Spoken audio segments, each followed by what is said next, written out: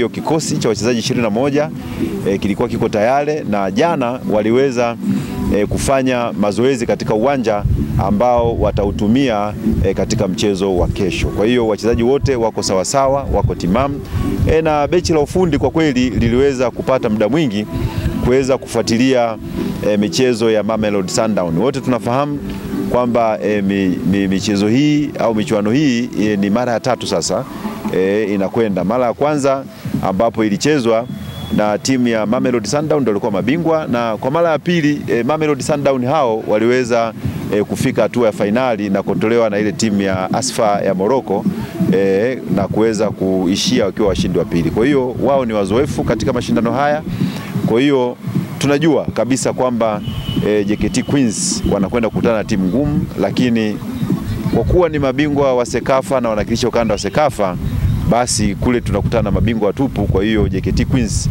wamejipanga kuhakikisha kwamba wanashindana na hawashiriki. Kwa kweli hali ya kambi ni nzuri, kwa maana ya kwamba e, kulikuwa kuna wachezaji kidogo wana maumivu kama e, mchezaji wetu Anastasia Katunzi e, pamoja na Amina Bilali lakini e, kwa taarifa ya daktari ni kwamba wachezaji hawa wanaendelea vyema na hata katika mazoezi ya jana waliweza kushiriki. Kwa hiyo tunaamini kabisa kwamba e, kuelekea mchezo wa kesho na michezo ijayo watakuwa tayari kwa ajili ya kucheza.